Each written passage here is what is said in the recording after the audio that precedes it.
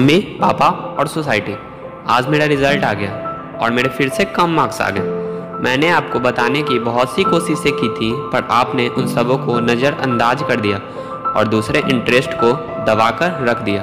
मगर इसमें भी कसूर सिर्फ़ आप लोगों का नहीं है, क्योंकि बात वहाँ से शुरू हुई थी जब मेरे टेंथ में अच्छे मार्क्स आ गए थे। और पढ़ाई में अच्छे नंबर लाने की वजह से माँ बाप तो छोड़ो आस पड़ोस के दुकानदार, आसपास की आंटी जिन्होंने तीन सालों से मुझसे बात भी नहीं की थी, वो भी कह रही थी कि, बेटा, तुझे तो साइंस ही लेना चाहिए और तू तो इंजीनियरिंग ही करेगा।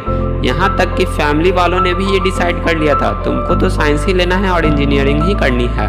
साला, मुझे ये नहीं पता चल रहा था कि मैं अपनी ज़िंदगी खुद जी रहा हूँ या उनका कदपुतला हूँ। ऐसी बात नहीं है कि मुझे साइंस पसंद नहीं थी। I love science science is beautiful मुझे पढ़ना था साइंस बट बस इंजीनियरिंग कर कर वो किसी के अंडर में जॉब नहीं चाहिए था। लेकिन मैं जब इलेवेंथ में कॉलेज में आया तो हमारे हाफ़ इंटरेस्टेड टीचर्स साइंस तो पढ़ाते नहीं थे, पढ़ाते भी थे तो एक रॉबोट की तरह, कम से कम समय में रॉबोट की तरह, जल्दी से जल्दी एम सी क्यू सॉल्व करते, करवाते थे। उन्हें इन सब चीज़ों से मतलब ही नहीं था कि किसी को कुछ समझ भी आ रहा है या नहीं। उन्हें बस इन सब चीज़ों से मतलब था कि बस उन्हें फिक्स्ड पेजेस आज खत्म करने थे और जो पहले से डिसाइडेड होते थे। और अगर गलती से पूछने चले जाओ, हिम्मत कर कर मोटिवेटेड होकर तो ऐसे शो करेंगे जैसे कितने इजी क्वेश्चंस पूछे हो। लास्ट में आकर तुम ही को ये बोलना पड़ जाएगा कि मैं ही समझने में कमज़ोर था।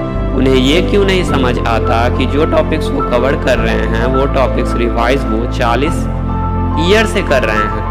और वो सब हम लोग पहली बार फेस कर रहे होते हैं। लेकिन इन प्रोफेसरों के बीच कुछ ऐसे भी होते हैं जो अपना पूरा 100 परसेंट देते हैं, समझाने के लिए आई रेस्पेक्ट दोज और अब आते हैं हमारे क्लास के कुछ टॉपर्स जो कि ऑलरेडी किसी के गाइडेंस में होते हैं। उनसे समझने की कोशिश करो तो एक्चुअली में पता चलता है कि वो भी ज़्यादा से ज़्यादा क्वेश्चंस अटेम्प्ट के फ़ील्ड में होते हैं। मुझे नहीं अच्छे लगते हैं उनके लट्टू ज्ञान। क्यों नहीं मेरे इंटेलिजेंस को मैं अपने इंटरेस्ट वाले सब्जेक्ट से पूरा कर सकता था? क्यों इंटेलिजेंस शो करने के लिए मुझे उस भीड़ में ही जाना था? मैं कुछ अलग नहीं कर सकता था, क्योंकि शायद हमारी सोसाइटी माँ पापा ने ये समझ लिया था कि बिना सरकारी नौकरी लिए हमारे बच्चे इस भीड़ में कुछ रह जाएँगे। क्या प्राइवेट जॉब्स के हायर पैकेजेस नहीं होते?